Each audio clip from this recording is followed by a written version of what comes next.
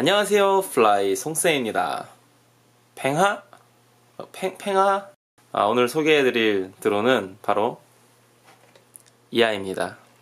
뭐 이게 무슨 드론이야 하시겠지만 드론입니다. 어, 몇 년 전에 저에게 영상 편집을 알려주신 드로스님께 감사드리며 어, 드로스님이 선물해 주셨던 드론인데 사실 지금은 이름도 잘 모르겠네요. 아, 요새 매빙 미니 리뷰를 좀 찍고 비행을 해야 되는데 날씨도 많이 추워지고 또 비도 오고 또 하필 주말에 이제 촬영 일정을 잡아놨는데 어 아기가 편도염에 걸려서 지금 거의 한 4일 5일째 잠도 제대로 못 자고 있습니다.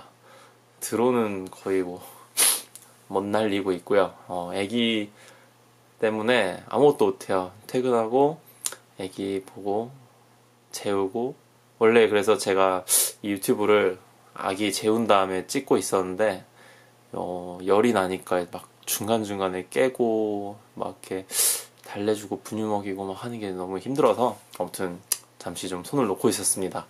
오늘도 지금 다 완, 완쾌? 완치가 되지 않아서 어, 어떡하지 하다가 좀 조금 일찍 잠들었어요. 그래서 어, 뭘 찍을까 하다 보니까 어, 집에 있는 이 펭귄 드론이 마침 눈에 띄어서 비록 펭수는 아니지만 펭수랑 같은 친구인 이 펭귄 드론에 대해서 간단 소개를 해드리려 합니다.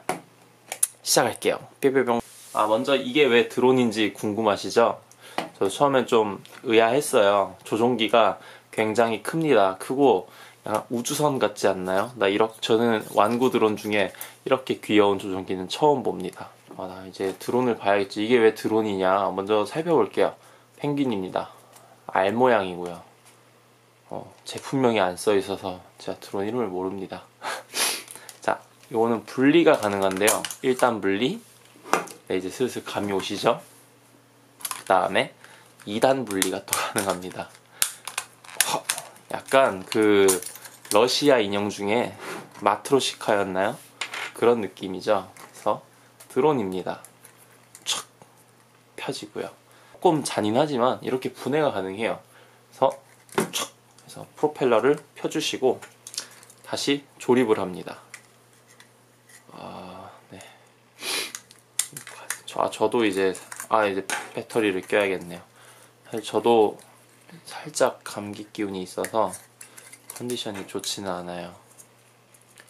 목도 좀 잠긴 것 같고, 네. 하지만 또 촬영 기회가 자, 주 있는 게 아니라서 또 네, 매빙 미니 보러 오신 분들은 죄송합니다. 이게 뭐지? 여긴가? 네, 이렇게네요. 아, 나름대로 이렇게 목도리도, 목도리도 하고 있어요. 네, 이렇게 해서 날리셔도 됩니다. 이렇게 해서 날리실 수가 있고, 아니면 이렇게 끼우셔서 날리실 수도 있어요. 그런데 이렇게 끼우셔서 날리면은 무거워서 잘 못 날아요. 일단 두 가지 다 보여는 드릴 건데, 이렇게 먼저 날려보고, 끼워서 R 모드로 한번 날려드리겠습니다. 저 뒤에는 제 드론 진열장입니다. 켜시고, 어? 뭐야? 왜 안 켜져? 다시. 네, 켜시고. 네.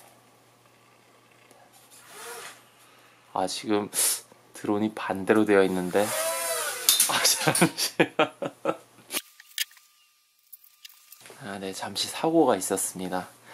아, 여기가 지금 컴퓨터 편집방이라서 보시면 제가 이렇게 편집하는 컴퓨터 저 팽아 팽수를 띄워놨는데 제가 사실 팽수를 잘 몰라요. 그래서 팽 아까 그 팽아를 어떤 발음으로 해야 될지를 몰라서 팽아 팽아 뭐 이렇게 하다가 찾아봤어요. 어 다시 한번 날려보겠습니다. 네. 아 이게 사실 펭귄 죄송합니다. 아, 두 번째 사고가 있었습니다. 아 이게 사실 펭귄 부분이 아, 펭귄 머리 쪽이 이 앞부분이라 이 좁은 공간에서 조종이 쉽지는 않네요.